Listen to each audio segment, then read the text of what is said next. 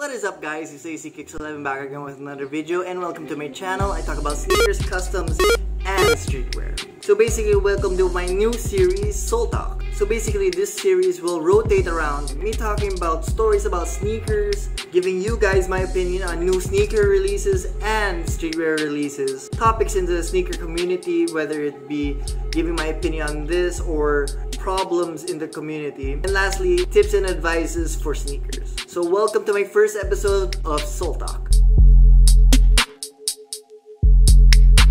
So basically, the topic for this video is why I hate Converse. So Oh basically, let's start the story with how I began with Converse. So basically, Converse to me was like the next level from Skechers since I didn't know a lot about sneakers. I didn't know about Nike, those type of shoes before.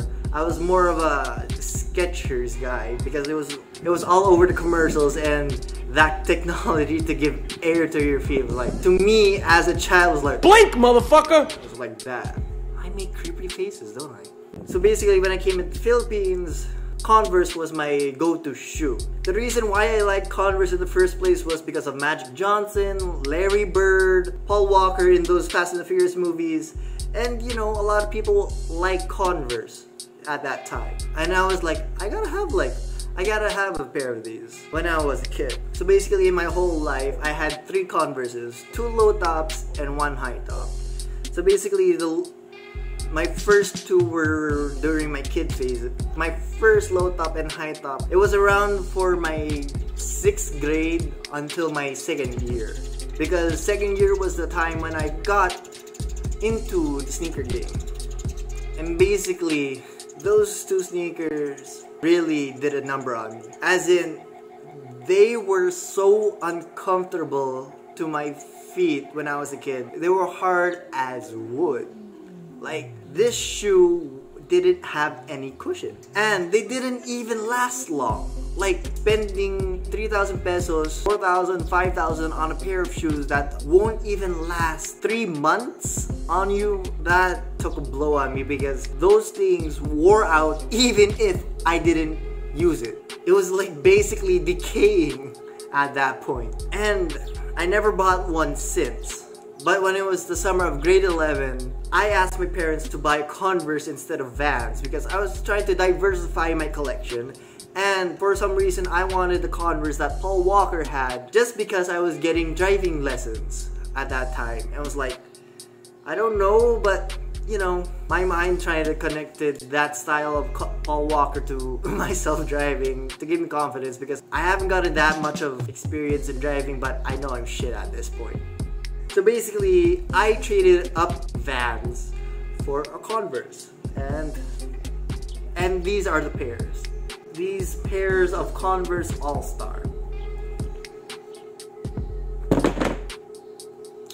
And now they're basically my beaters now. Throughout my driving lesson, these shoes were tearing up. I wasn't even that hard on them. I didn't scrape them. I treated them as I would a Jordan. I wanted these shoes to last longer. But even taking care of these shoes didn't do me any good. Like end of summer, these things were having gaping holes on the side. Like this thing, this rubber on the side, gave out. You could put your finger right here. Oni-chan! Taisuke! I traded Vans for this, and in, and my Vans Half Cab shoe lasted longer than these. My Vans Half Cab shoe lasted like four years for me. And the only reason why I had to give them up because they didn't fit me anymore. I was really disappointed with these Converses. But for these regular joints, spending 4k of my money and getting to only use them for 3 months really led me to a disappointment for Converse. To me, getting a Vans or any other shoe than a Converse, if it's not a collab, is much more better. Is better than spent burning 4,000 pesos in three months. They were comfortable at first, but my fat ass broke them out.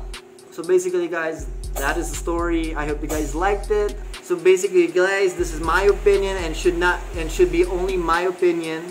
It should not bring hate to Converse, should not bring hate to the Converse brand or anything else. Maybe it's a manufacturing problem or something, I don't know. But that is my story. My opinion should not dictate what your opinion should be.